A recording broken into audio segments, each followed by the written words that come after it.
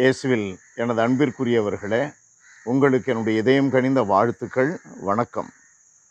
அன்பானவர்களே ஆண்டவர் இயேசு வரப்போகின்ற கேடுகள் பற்றி அறிவிக்கின்ற ஒரு பகுதி தான் இன்றைக்கு நம்முடைய தியானத்திற்கு கொடுக்கப்பட்டுள்ளது. எருசலேம் அழிவு உலக அழிவு என்று அழிவுகளை பற்றி ஆண்டவர் சொல்லி கொண்டிருக்கிறார். இந்த அழிவுகள் எல்லாம் ஏன் வருகிறது? ஆண்டவர் இயேசுவினுடைய வார்த்தைகளை கேட்காத எருசலேமிற்கு அந்த அழிவு வருகிறது. ஆண்டவர் இயேசுவினுடைய வார்த்தைகளை கேட்டு திருந்தாத இந்த உலக மக்களுக்கு அந்த அழிவு வரும். இந்த அழிவிலிருந்து தப்பித்து கொள்ள நாம் என்ன செய்ய வேண்டும்? ஆண்டவருடைய வார்த்தைகளுக்கு செவி கொடுக்க வேண்டும். இந்த அழிவுகள் ஏற்படுகின்ற இடங்களில் இருக்கின்ற சிக்கிக்கொண்ட நாம் என்ன செய்ய வேண்டும்? ஆண்டவருக்கு சாட்சி பகர வேண்டும். காரணம் என்ன? அவருக்கு சாட்சி பகர்ந்து அவரை மகிமைப்படுத்தவே கடவுள் நம்மை படைத்தார். இந்த குழப்பங்கள் எல்லாம் அழிவுக்கான காரியங்கள் எல்லாம் நடைபெறும் பொழுது நாம் பயப்படக்கூடாது. ஆண்டவர் இயேசு சொல்லுகிறார் நீங்கள் திகிலுறாதீர்கள். இந்த சூழலிலே காலம் வருகிறது. வந்துவிட்டது. நான் தான் அவர் என்று யாராவது சொல்லுவார்கள். இன்றைக்கு கத்தோலிக்க திரு அவையிலை விட்டு வெளியிலே இருக்கிற பலரும் அப்படி சொல்லி கொண்டிருக்கிறார்கள். எங்கள் சபைதான் உண்மையான சபை.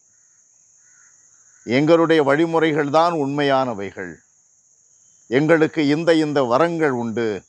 அந்நிய பாஷை வரம் உண்டு. ஆகையினால் எங்களிடம்தான் ஆவியானவர் செயல்படுகிறார். கத்தோலிக்க திரு அவையில் க- ஆவியானவர் செயல்படவில்லை என்றெல்லாம் சொல்லி கொண்டிருக்கிறார்கள்.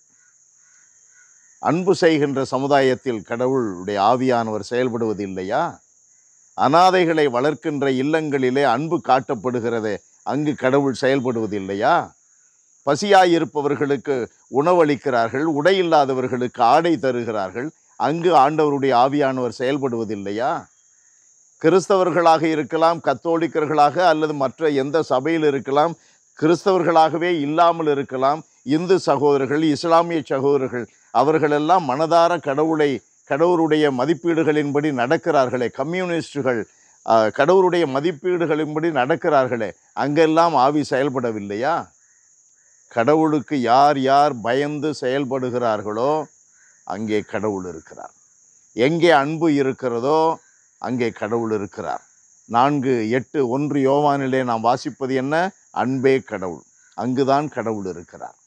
அன்பானவர்களே ஆகையினால் அப்படி கிறிஸ்துவனுடைய மதிப்பீடுகளின்படி நடக்கின்ற வேளையில் நாம் எந்த குழப்பத்தை குறித்தும் கலவரத்தை குறித்தும் பயப்படவே தேவையில்லை. நம் மத்தியிலே ஆண்டவர் இருக்கிறார். அன்பு நிறைந்த எங்கள் தகப்பனே உம்மை துதித்து போற்றுகிறோம். தாழ்மையோடு ஆராதிக்கிறோம்.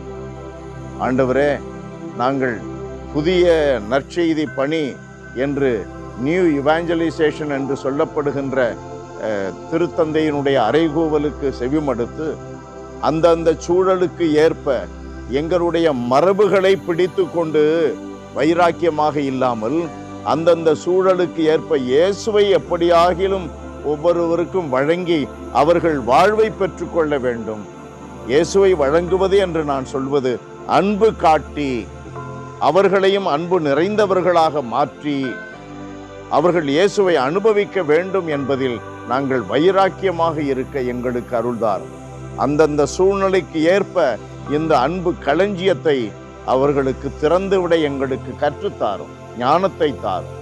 இயேசுவின் நாமத்தில் ஜெபிக்கிறோம் பிதாவே. ஆமென் ஆமென்.